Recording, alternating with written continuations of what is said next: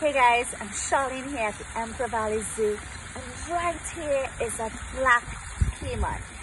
Black caimans are a type of crocodilian. Other crocodilians include alligators and crocodiles. Now this guy here, like other black caimans, can get up to 16 feet or more in length. That's about 5 meters. They're carnivores.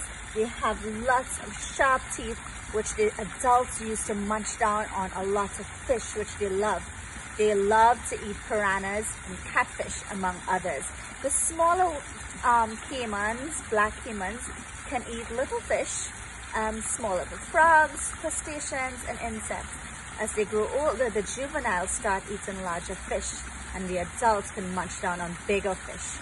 They also eat small animals in the environment, in the wetlands where they live, like capybara and deer.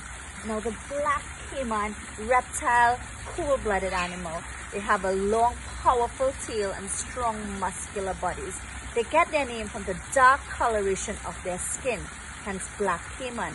That dark color helps them to camouflage in the wild, especially when they do nocturnal hunts. So this is the black caiman here at the Emperor Valley Zoo.